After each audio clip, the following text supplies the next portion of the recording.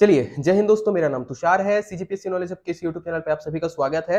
आज MCQ session में हम लोग खास कर रहे हैं सब इंस्पेक्टर और टीचर के सिलेबस को पकड़ते हैं, जिसमें पर्यावरण और कंप्यूटर इससे रिलेटेड हम लोग क्वेश्चन आंसर करने वाले हैं। बोला जाए अंग्रेज़ी में तो इन्वायरमेंट हो जाएगा और कंप्यूटर स्टडीज़ इससे रिलेटेड जो भी क्वेश्चन आने की संभावना रहेगी, उसको हम लोग करेंगे। दोनों टॉपिक का अगर मिलाया जाए तो बहुत ज़्यादा वेटेज रख रहा है दोनों एग्ज़ाम में, चाहे टीचर भर्ती की बात कर ले या फिर हम लोग बात कर ले एस की। इन दोनों में वेटेज बहुत ज़्यादा हो रहा है इन्वायरमेंट और कंप्यूटर स्टडीज़ का तो आपकी तैयारी को और अच्छा बनाने के लिए हम लोग ये वीडियो लेकर आ रहे हैं। इसके अतिरिक्त, सही जीपीएससी में भी आपका काम आ जाएगा, व्यापम के भी कुछ एग्ज़ाम होते हैं, उसमें भी ये सारे टॉपिक जो है कवर अप करते हैं। तो वीडियो को लाइक कर दीजिएगा शेयर कर दीजिएगा, चलिए क्वेश्चन आंसर में पढ़ते हैं। तो जैसे पहला क्वेश्चन आप लोगों के सामने आ रहा है, शुरुआत में हम लोगों ने कंप्यूटर को रखा है, फिर बाद में पर्यावरण है। और ईजी से लेकर डिफ़िकल्ट लेवल तक के सारे क्वेश्चन आपको देखने को मिलेंगे तो ऐसे मत समझिएगा कि बस हो गया इजी इजी दिख रहे हैं। जैसे पहला क्वेश्चन है विंडोज़ क्या है, इसके बारे में आपको बताना है। विंडोज़ में आपके पास ऑप्शन है application software utility software operating system या फिर हार्डवेयर तो जब भी बात आती है विंडोज़ की, जैसे विंडोज़ बोल दीजिए या फिर डॉस बोल दीजिए या फिर एप्पल का मैक रहता है, ये सारे आपके क्या होते हैं? ऑपरेटिंग सिस्टम होते हैं। तो विंडोज़ क्या रहेगा आपका? ऑपरेटिंग सिस्टम रहेगा। इसमें एक चीज़ बड़ा खतरनाक होने वाला है आप गूगल का नाम सुने होंगे गूगल क्रोम अगर कंप्यूटर चलाते होंगे तो गूगल क्रोम वैसे तो सर्च इंजन है बट गूगल क्रोम का ओ एक्स फ्लैश करके एक आया है जो आपको देखने को मिलेगा क्या चीज़? एक आपका ऑपरेटिंग सिस्टम तो विंडोज़ है उबंतु है लिनक्स ये सारे आपके ऑपरेटिंग सिस्टम होते हैं। नेक्स्ट बढ़ते हैं। प्रश्न क्या है? भारत का सबसे पहले किस कंप्यूटर को बनाया था? अगर भारत में अगर बात कीजिए तो सबसे पहले कौन सा कंप्यूटर बना था उसका नाम पूछ रहा है। ऑप्शन में हमारे पास परम है, इसके अलावा सुपर है, सिद्धार्थ है और गौतम है। अगर कंप्यूटर की बात करेगा तो परम को मत लगाइएगा, वो सुपर कंप्यूटर हो जाता है। पहले कंप्यूटर का नाम आपको सिद्धार्थ नाम देखने को मिलेगा। सिद्धार्थ कैसे याद रख सकते हो? क्या ये गौतम बुद्ध के बचपन का नाम था? कमेंट करके बताएँगे, ओके? चलिए, नेक्स्ट आते हैं। विश्व कंप्यूटर साक्षरता दिवस कब मनाया जाता है? अभी हाल ही में आएगा, अभी आया नहीं है, आने की संभावना है मतलब आगे आएगा।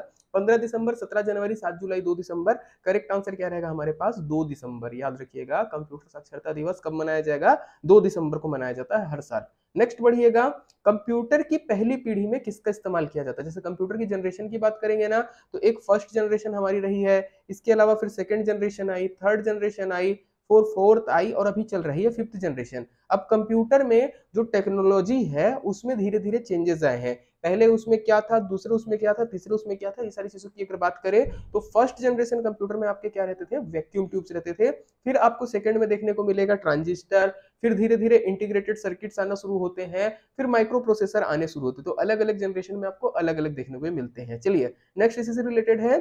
दूसरी पीढ़ी में कंप्यूटर में क्या इस्तेमाल किया जाने लगा था? Integrated chip transistor vacuum tube या माइक्रो प्रोसेसर पहले में वैक्यूम ट्यूब्स का यूज़ करते थे।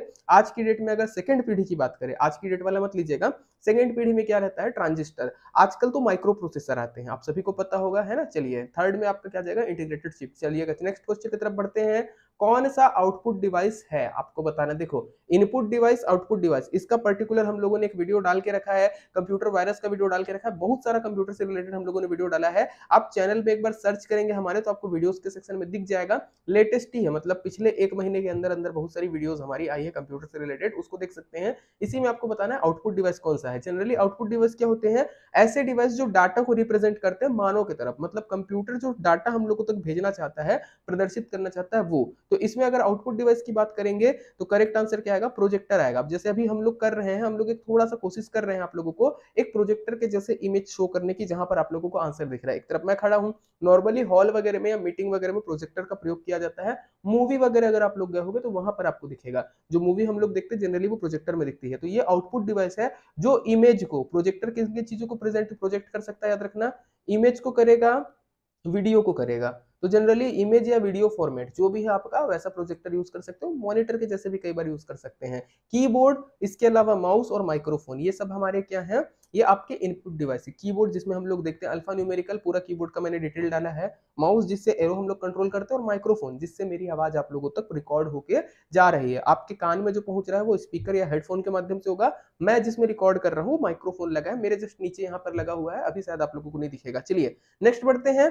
प्रश्न क्या है? इनपुट डिवाइस कौन सा ये बताइए। ऑप्शन में मॉनिटर प्रोजेक्टर प्रिंटर और स्कैनर तो जब जनरली बात की जाती है मॉनिटर तो जैसे अभी मैं आप लोगों को पढ़ा रहा हूँ, मेरे जस्ट सामने एक मॉनिटर है। ये आउटपुट डिवाइस है। प्रोजेक्टर, अभी हम लोग पढ़े थे आउटपुट डिवाइस है, प्रिंटर हार्ड कॉपी निकालने का काम करता है। अगर हम लोग ध्यान से देखेंगे, याद रखिएगा, चाहे बात हो मॉनिटर की, चाहे बात हो प्रोजेक्टर की, ये दोनों आपके कैसे हैं? ये सॉफ्ट कॉपी देते हैं। मतलब इनको हम लोग ये नहीं कर सकते कि कहीं हार्ड कॉपी इसके ठोस रख सकते हैं, ठोस प्रति। सॉफ्ट कॉपी आउटपुट डिवाइस है। प्रिंटर की बात करेंगे, प्रिंटर हमेशा हार्ड कॉपी देता है। प्रिंटर क्या करता है? आपका पेज प्रिंट करता है। जबकि स्कैनर क्या होता है? डॉक्यूमेंट को स्कैन करने का काम करता है। ये एक इनपुट डिवाइस है। इसमें पेपर, टेक्स्ट या इमेजेस को हम लोग क्या करते हैं? स्कैन करते हैं और उसकी सॉफ्ट कॉपी बनाते हैं कंप्यूटर में। स्कैनर क्या हो जाएगा? हमारा इनपुट डिवाइस। चलिए, नेक्स्ट क्वेश्चन की तरफ़, इमेज फ़ाइल फॉर्मेट कौन सा है? जनरली कंप्यूटर में फ़ाइल फॉर्मेट भी पूछ सकता है इमेज के लिए। जैसे फ़ोटोज़ रहती हैं, उसमें अलग अलग फॉर्मेट रहता है, वो कौन सा है? तो जैसे अगर बात करेंगे इमेज फॉर्मेट की डॉट जेपीजी आपको दिखेगा, डॉट जेपीईजी दिखेगा, इसके अलावा पीएनजी होता है, इस तरीके से आपको बहुत सारे इमेज के फ़ाइल फॉर्मेट देखने को मिलेंगे। तो इसमें करेक्ट आंसर क्या आएगा? आपका जेपीजी आएगा। बाकी सॉरी इसमें इमेज फ़ाइल फॉर्मेट में कौन सा है बोल रहा है? ये आंसर गलत लिया गया है। इसको आप सुधार लीजिएगा, जेपीजी। जेपीजी इमेज फॉर्मेट है। एमपी आपका होता है ऑडियो के लिए। ध्यान रखिएगा इस चीज़ को। ऑडियो के लिए रहेगा एमपी फॉर्मेट वीडियो के लिए रहता है MP4 फॉर्मेट और जेपीजी किसके लिए है? इमेज के लिए है। नेक्स्ट क्वेश्चन की तरफ़ बढ़िएगा। बाइनरी नंबर सिस्टम कंप्यूटर की अगर हम लोग बात करेंगे तो बाइनरी नंबर सिस्टम में कितना होता है? देखो बाइनरी होता है नंबर सिस्टम में हेक्सा होता है ऑक्टल डेसिमल सिस्टम होता है, बहुत सारे प्रकार रहते हैं। जनरली बाइनरी सिस्टम में यदि बात करे जाएँगे, दो प्रकार के अंक होते हैं। एक आपका होगा ज़ीरो और दूसरा होगा एक। जो भी कंप्यूटर की लैंग्वेज रहती है कोडिंग रहती है, वो zero one zero one zero one में ही आपको देखने को मिलेगा।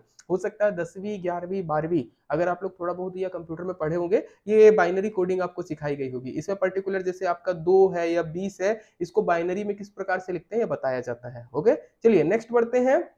कंप्यूटर का दिमाग किसे कहा जाता है? अगर बोलेंगे कंप्यूटर का मस्तिष्क क्या है, इसके बारे में बताइए। ऑप्शन में है रोम सीपीयू रैम या सीडी ड्राइव तो करेक्ट आंसर क्या आएगा? सीपीयू है ना? सेंट्रल प्रोसेसिंग यूनिट इसी को कहा जाता है कंप्यूटर का मस्तिष्क। नेक्स्ट क्वेश्चन की तरफ़ बढ़ते हैं। कंप्यूटर किस भाषा को समझता है? कंप्यूटर के बारे में आएँगे। जैसे अभी मैं आप लोगों से बात कर रहा हूँ, हिंदी भाषा में, है ना? तो आप लोग हिंदी भाषा समझते होंगे तो मेरे वीडियो को अच्छे से देखोगे। अगर नहीं समझता तो फिर मुझको एक ऐसा सिंबॉलिक भाषा यूज़ करना पड़ेगा, या फिर छत्तीसगढ़ी में बोलना पड़ेगा इधर इंग्लिश में बोलना पड़ेगा, किसी तरीके से जिसमें समझ सके। कंप्यूटर कौन सी भाषा समझता है? जब ये बात आती है तो ऐसा नहीं कंप्यूटर को अंग्रेज़ी समझ में आती है, या कंप्यूटर को हिंदी समझ में आती है। कंप्यूटर की यदि बात करेंगे, कंप्यूटर को समझ में आती है मशीन लैंग्वेज ओके? ध्यान रखिएगा इस चीज़ को। चलो नेक्स्ट आते हैं कौन सा कुछ ही समय के लिए डेटा स्टोर करता है। इन ये सारी जो दिए गए हैं, आपको एक प्रकार के स्टोरेज डिवाइसेस दिए गए हैं, जो डाटा को स्टोर करने का काम करते हैं। कौन सा है जो कुछ ही समय के लिए डाटा स्टोर करता है, इसके बारे में आपको बताना है। ऑप्शन में है डीवीडी हार्ड ड्राइव रैम और रोम है ना? आप सभी में से कई लोगों ने डीवीडी देखा नहीं होगा। पुराने जमाने में जो बच्चे होंगे, जो ऐसे मूवी देखते होंगे कैसे डिस्क टाइप का आता था, चपटा चपटा, है ना? जिसमें सीडी प्लेयर डीवीडी प्लेयर रहता था, वो वाला। डीवीडी हमेशा के लिए डाटा को स्टोर कर लेता है हार्ड ड्राइव भी कर सकता है रोम भी कर सकता है। रैम जो होता है, वो डाटा को थोड़े समय के लिए स्टोर करता है। जैसे आप पावर सप्लाई काटोगे, बिजली काटोगे, आपका डाटा हट जाएगा। तो रैम जिसको बोला जाता है random access memory okay random access memory जो है आपका ये आपको क्या देखने को मिलेगा? कम डाटा या कम समय के लिए डाटा स्टोर करता है। जैसे हम लोग बोलते हैं ना, फ़ोन में कितना रैम है, कितना रोम है। जो रोम होता है, जैसे आप मान के चलिए फ़ोन के हिसाब से समझा देता हूँ, जैसे आपके पास है छह बटा चौसठ जीबी का फ़ोन या फिर आपके पास है आठ बटा एक सौ अट्ठाईस जीबी का फ़ोन तो आठ जीबी क्या है आपके फ़ोन में? रैम है। कंप्यूटर को या मोबाइल को वो तेज़ी से काम करने में सहायता करता है। बट ये जो चौसठ और 128 होता है, इसमें हमारा डाटा स्टोर होता है। जैसे आपके मोबाइल में कोई फ़ोटो स्टोर है तो यहाँ पे रहेगी। आप कोई एप्लीकेशन खोले हैं, वो साइड में चल रहा है तो वो कहाँ पर चलेगा? आपका रैम में स्टोर रहता है। तो रैम क्या करता है? कुछ समय के लिए डाटा स्टोर करता है, ताकि कंप्यूटर जो है फास्ट काम कर सके। और इसमें जैसे ही बिजली जाएगी आपका स्टोरेज जो है वो खत्म हो जाएगा मतलब जो भी उसमें स्टोर है, वो निपट जाता है। ओके चलिए नेक्स्ट क्वेश्चन की तरफ़ बढ़ते हैं। गूगल क्या है, इसके बारे में बताइए। जनरली सर्च इंजन ब्राउज़र ये सारी चीज़ों का नाम दे दे के आपसे बार बार पूछेगा कि बताइए गूगल क्या है। ऑप्शन में ब्राउज़र है सर्वर है हार्डवेयर है सर्च इंजन है। तो जनरली गूगल के बारे में हम लोग क्या बोलेंगे? गूगल एक सर्च इंजन है। ओके ऐसे यूट्यूब के बारे में बात आएगी तो यूट्यूब एक अलग प्लेटफॉर्म हो जाएगा।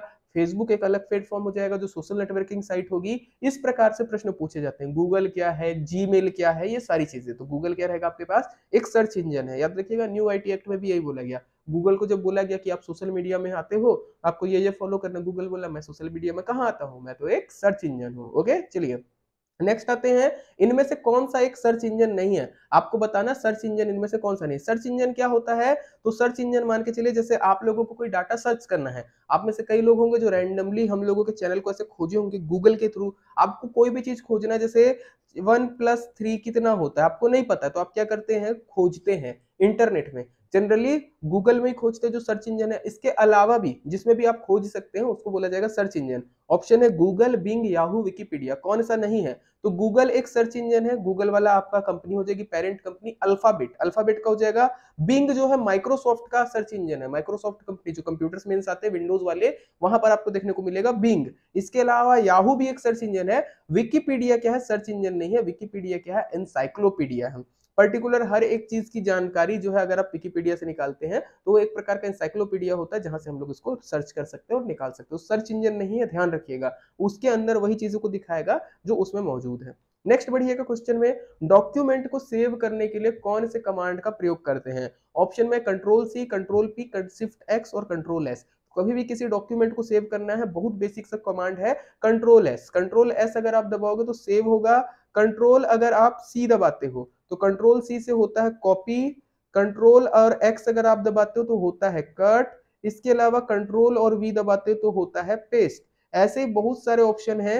अगर आप कंट्रोल के साथ बैक स्पेस दबाओगे तो याद रखना, आप जैसे वर्ड लिखे हो पूरा पूरा शब्द हटेगा। जैसे किया लिखा है पूरा हट जाएगा, अगर कंट्रोल के साथ दबाते हो। कंट्रोल के साथ डिलीट दबाओगे तो जो भी कर्जर के पहले शब्द है, ये बाद वाला वो आपका पूरा पूरा डिलीट हो जाएगा। नॉर्मली डिलीट या बैक स्पेस दबाते हैं तो एक एक लेटर होता है, ये पूरा वर्ड निपटाने के लिए काम आता है। तो इस प्रकार से बहुत सारे जो है कमांड भी पूछे जाते हैं। नेक्स्ट बढ़िएगा एमएस वर्ड क्या है? इसके बारे में आपको बताना है। What is MS Word system software है यूटिलिटी सॉफ्टवेयर है इनपुट डिवाइस है या एप्लीकेशन सॉफ्टवेयर है? तो जब एमएस वर्ड की बात आएगी तो ये एक एप्लीकेशन सॉफ्टवेयर है पर्टिकुलर एक एप्लीकेशन है, जिसका प्रयोग हम लोग करते हैं डॉक्यूमेंट बनाने में। तो एमएस वर्ड क्या हो जाएगा? एप्लीकेशन सिस्टम के साथ नहीं आता, अलग से लेना पड़ता है। नेक्स्ट बढ़ते हैं हम लोग। इनमें से कौन सा हार्डवेयर नहीं है, ये बताना है। हार्डवेयर नहीं है। अब हार्डवेयर और सॉफ्टवेयर में यदि बात की जाए तो हार्डवेयर ऐसी चीज़ें होती है जिनको हम लोग कंप्यूटर में छू सकते हैं, सामान्य तौर पर समझने के लिए। सॉफ्टवेयर क्या होते हैं? प्रोग्राम होते हैं जिनको हम लोग छू नहीं सकते। कंप्यूटर मेन हार्डवेयर और सॉफ्टवेयर का मिश्रण है। मतलब अगर मेरे पास मॉनिटर है सीपीयू खोखा है, अगर सॉफ्टवेयर ना रहे सॉफ्टवेयर ही मन चाह डिजायर्ड प्रोडक्ट आपको देने के लिए काम करते हैं। तो हार्डवेयर कौन सा नहीं, आपसे पूछेगा तो मॉनिटर एक हार्डवेयर है सीपीयू एक हार्डवेयर है माउस भी एक हार्डवेयर है एक्सेल एम एस एक्सेल क्या है? ये आपका सॉफ्टवेयर है। एम एस एक्सेल के अंतर्गत आता है स्प्रेडशीट बनाने के लिए काम आता है। स्प्रेडशीट अगर बोले तो थोड़ा बहुत जैसे आपको चार्ट वगैरह बनाना है बिलिंग वगैरह करना है, वो आपका एक्सेल में मदद करता है। चलिए नेक्स्ट आइएगा। डॉट मैट्रिक्स क्या है? इसके बारे में पूछ रहा है। इसको भी हम लोगों ने हमारे वीडियो में कवर अप किया है। क्या चीज़ है dot matrix printer scanner projector या फिर माउस तो डॉट मैट्रिक्स की जब भी बात आती है तो डॉट मैट्रिक्स क्या है आपका याद रखिएगा? प्रिंटर का एक प्रकार है okay type of a printer is called dot matrix एक प्रकार का प्रिंटर है जो अपने डॉट डॉट डॉट करके शब्दों को या अक्षरों को जो है प्रिंट करता है। इसमें मैंने आप लोगों को बताया होगा dot matrix daisy wheel laser printer inkjet printer अलग अलग प्रकार के प्रिंटर जिसमें पूरा कवर अप है। इम्पैक्ट नॉन इम्पैक्ट है। इसके अलावा कौन सा प्रिंटर आपका थर्मल प्रिंटर होता है सारी चीज़ें कवर अप है। वो वाला वीडियो आप देख सकते हैं। हम लोग कोशिश करेंगे कि कमेंट में डाल दें अदरवाइज़ आप चैनल में सर्च करेंगे, आपको मिल जाएगा। चलिए नेक्स्ट आते हैं।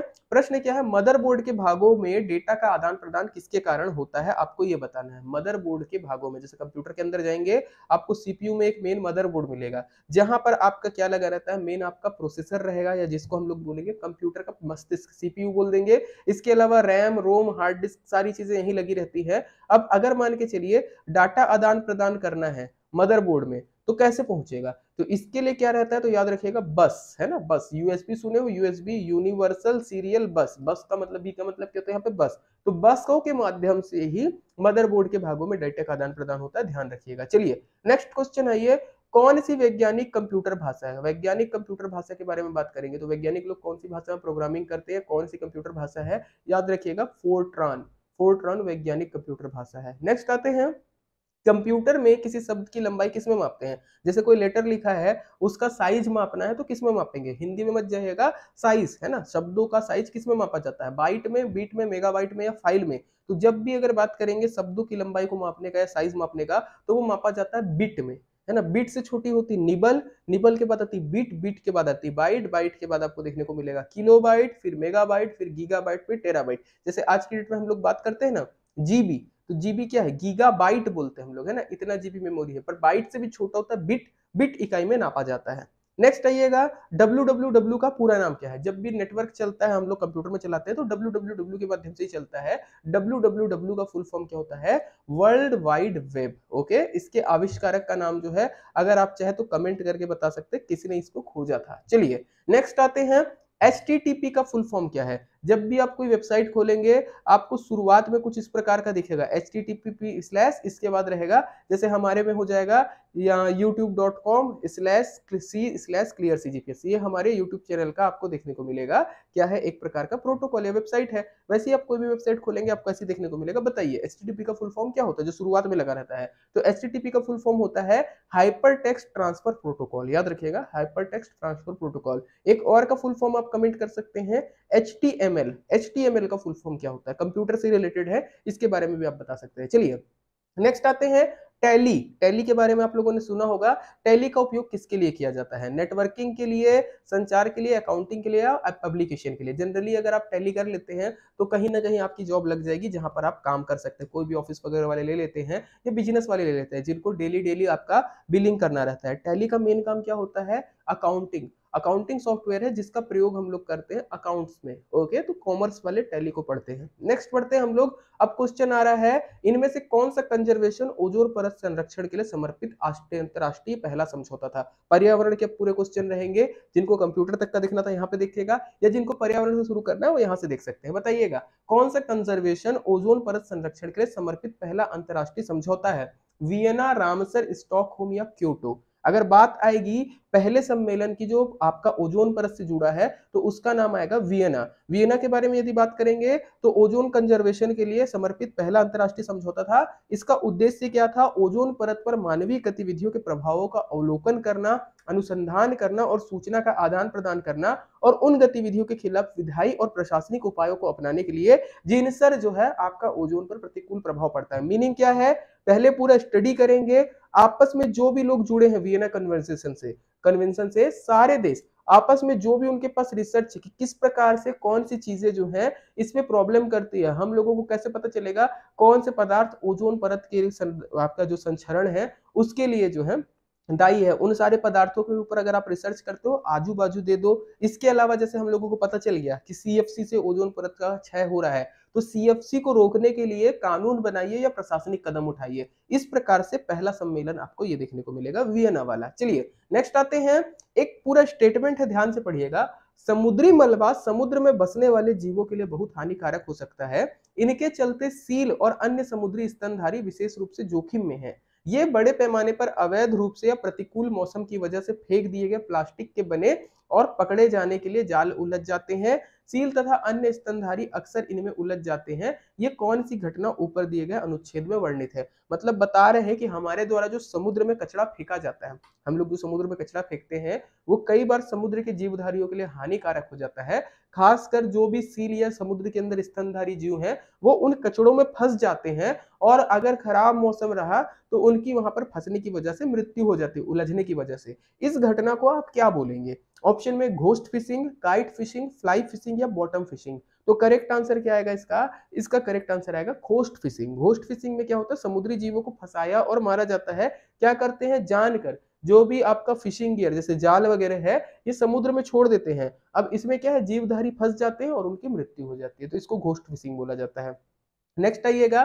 पर्यावरण से जुड़ा हुआ क्वेश्चन है ब्लैक कार्बन ब्लैक कार्बन के बारे में आपको बताना है कि कौन सा स्टेटमेंट सही है। पहला स्टेटमेंट आता है, यह एक गैसी पदार्थ है जो जीवाश्म ईंधन और बायोगैस के अपूर्ण दहन के परिणाम स्वरूप होता है। मान के चलिए आप लकड़ी जलाते हैं और या कोई आप बायोमास चला रहे हैं जिसके कारण से अगर वो पूरा नहीं जला तो, तो एक गैसीय पदार्थ होता है जो आपको देखने को मिलेगा। यह कम समय में वातावरण में रहता है और जलवायु परिवर्तन में योगदान देता है।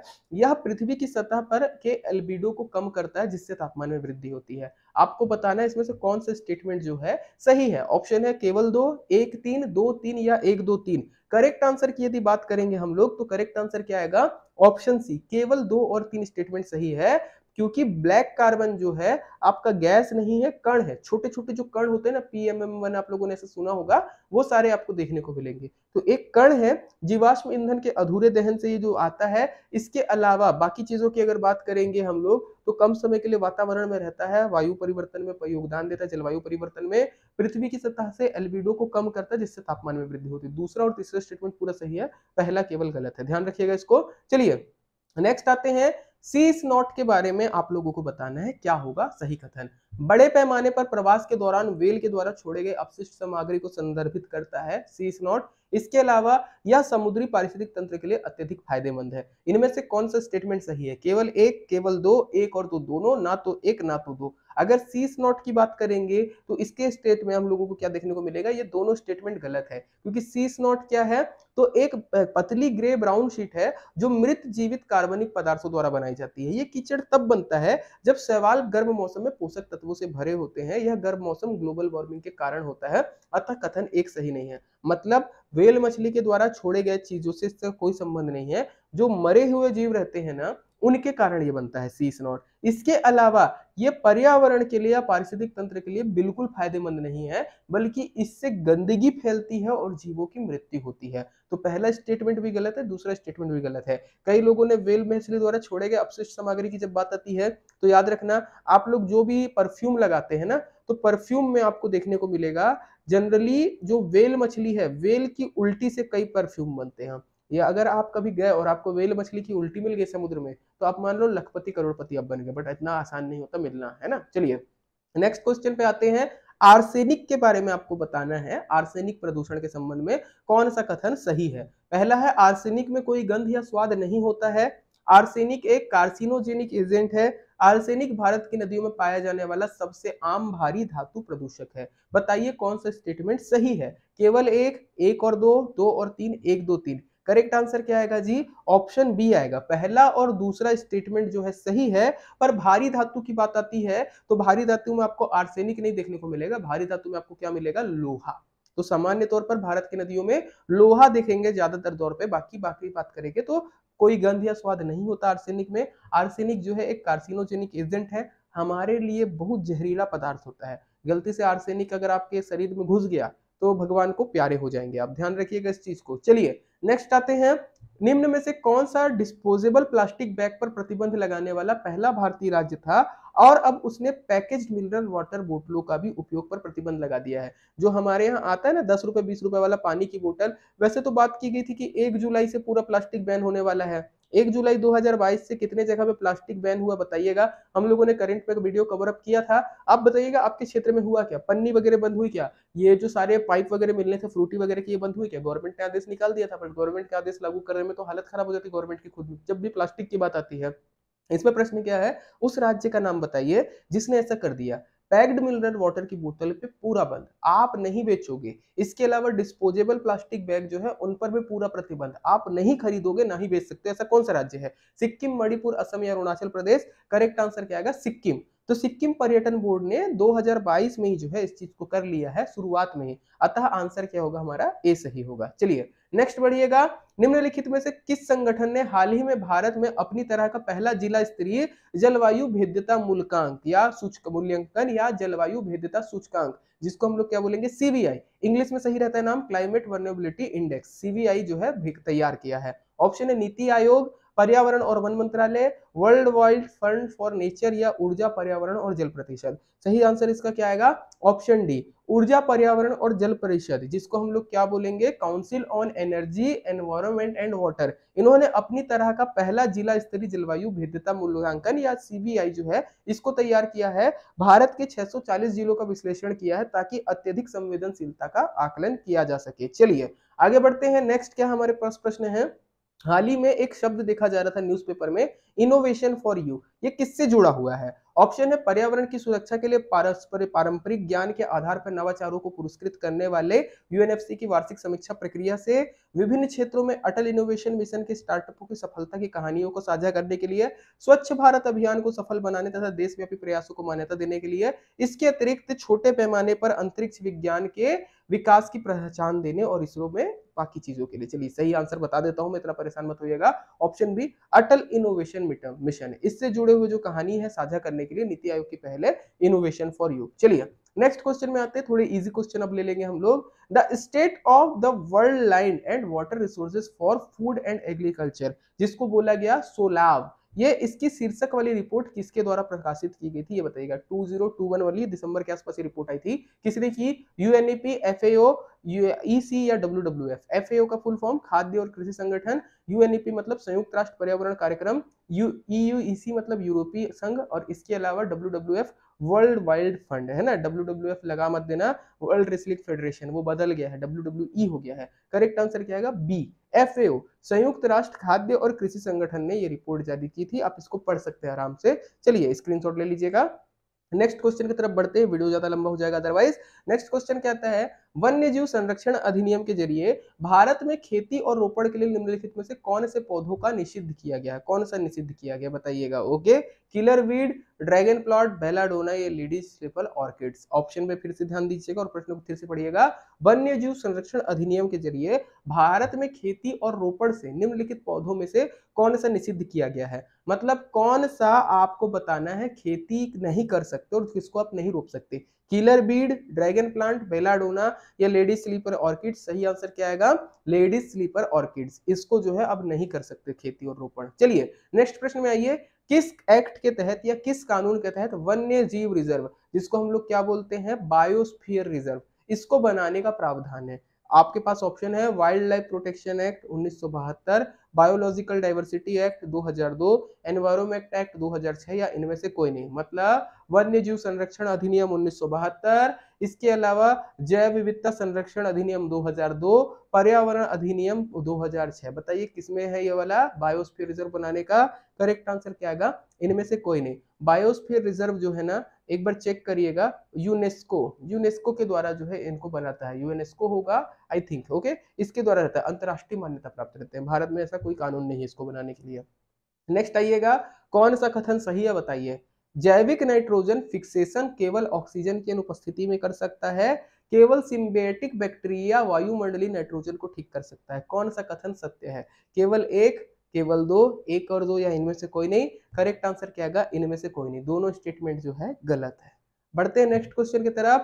आपको बताना है कथनों को ध्यान से पढ़कर। गंदा ढेर स्टॉक होम कन्वेंशन द्वारा लगातार कार्बनिक प्रदूषक के रूप में सूचीबद्ध किया गया है, जिससे मानव और पारिस्थितिक तंत्र पर प्रतिकूल प्रभाव पड़ सकते हैं। एंडोसुल्फन गंदे ढेरों में से एक है ओके स्टॉक होम कन्वर्सेशन के द्वारा गंदा ढेर के बारे में बताया जा रहा है कि कार्बनिक प्रदूषक के रूप में सूचीबद्ध किया गया है और इससे मानव और पारिस्थितिक तंत्र पर प्रतिकूल प्रभाव पड़ता है। दूसरा है, एंडोसुल्फन गंदे ढेरों में से एक है। कौन सा कथन सत्य है? सही आंसर क्या आएगा? केवल पहला कथन सत्य है। एंडोसुल्फन को हम लोग नहीं लेते हैं। नेक्स्ट पढ़िए कूनो पालपुर वन्य जीव अभ्यारण आज का सबसे आसान क्वेश्चन है। कूनो पालपुर वन्य जीव अभ्यारण किस प्रदेश में है? महाराष्ट्र में, मध्य प्रदेश में, उत्तर प्रदेश में या बिहार में? करेक्ट आंसर क्या आएगा? करेक्ट आंसर आएगा मध्य प्रदेश में। फ़ेमस क्यों हो गया भैया?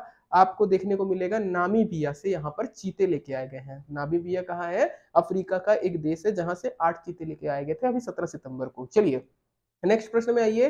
डीडीटी में कौन सा प्रदूषण उत्पन्न करता है? इसके बारे में बताइए। डीडीटी डीडीटी किस प्रकार का प्रदूषण करेगा? वायु प्रदूषण, जल प्रदूषण या फिर मृदा प्रदूषण या उपयोग सभी? करेक्ट आंसर अगर डीटीटी के बारे में बोलेंगे तो करेक्ट आंसर क्या आएगा आपका? सभी प्रदूषण, चाहे वायु प्रदूषण हो, जल हो या मृदा हो। ये तीनों करता है डीडीटी होता क्या है? एक प्रकार का कीटनाशक है, जिसका फुल फॉर्म क्या होता है? ड्राइकोलो ट्राइक्लोरो डाइफ्लोरो टेट्राफ्लोरो एथेन ऐसे करके रहता है। अगर देखेंगे तो खेती में यूज़ करते थे, इसको उन्नीस से बंद करने की कोशिश की गई है। चलिए नेक्स्ट बढ़िएगा। उत्तर प्रदेश में विज्ञान और प्रौद्योगिकी परिषद का गठन कब किया गया? 1975, 85, 95 या 2005 करेक्ट आंसर अगर हम लोग बात कर लेते सीधा सीधा 1975 आपको देखने को मिलेगा जिसमें यह गठित किया गया। नेक्स्ट प्रश्न की तरफ़ बढ़ते हैं। प्रश्न क्या है? ग्रीन हाउस गैस गंदे पानी से बनती है उसका चयन करिए। इनमें से कौन सी ग्रीन हाउस गैस है जो गंदे पानी में बनती है? Methane C F C H C F C या जल वाष्प। Methane C H four C F C chlorofluorocarbon H F H C F C hydrochlorofluorocarbon या जल वाष्प। करेक्ट आंसर क्या है? गंदे पानी में क्या बनता है? मेथेन गैस बनता है। गहराई में, गंदे पानी में जो जुगाली करने वाले जीव हैं, जैसे गाय हो गया, भैंस हो गया, इनकी आंतों में बनती मिथेन गैस। ओके चलिए। नेक्स्ट क्वेश्चन में आइएगा। निम्नलिखित पर ध्यान दीजिए। एलपीजी सीएनजी और शेल गैस बताइए मिथेन गैस किसका यौगिक है? केवल एक एक और दो दो और तीन या इनमें से सभी मतलब इनमें से आपको किसमें मिथेन गैस मिलेगी? एलपीजी में सीएनजी में और शेल गैस में? बताइएगा किसमें मिलेगी? करेक्ट आंसर क्या आएगा? सभी में मिलेगी आपको, चाहे एलपीजी बात कर लीजिए लिक्विड पेट्रोलियम गैस सीएनजी बात कर लीजिए कंप्रेस नेचुरल गैस या फिर शाले गैस सब में आपको मिथेन जो है एक मुख्य यौगिक के रूप में देखने को मिलेगी। तो इतने थे आज के क्वेश्चन अभी वीडियो को ओवर करते हैं। बाकी टेस्ट सीरीज़ चल रही है, आप टेस्ट सीरीज़ ले सकते हैं हमारे साथ। आज का पीडीएफ चाहिए, ये वाले बैच में आपको आज का पीडीएफ मिल जाएगा। इसके अलावा मैथ रीजनिंग का कोर्स भी है, आप ले सकते तो इतना था आज की वीडियो के लिए धन्यवाद जय हिंद।